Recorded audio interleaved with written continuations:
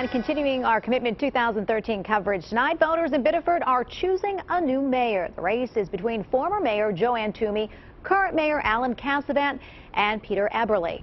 Twomey lost to Casavant back in 2011. And there's also a mayoral race in Lewiston today. Current Mayor Bob Macdonald is running against former Mayor Larry Gilbert, and we caught up with both of them today.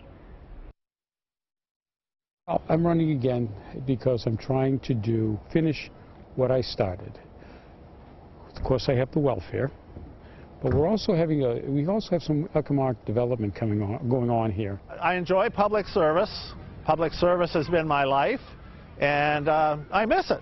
So, and I had a great number of people urging me to run. Okay, they wanted a change in, in uh, the direction of the city, and I think I can provide that change. Both Macdonald and Gilbert talked about how the city needs to continue work on its issues, but should also be focusing on the positives like the economic and cultural developments.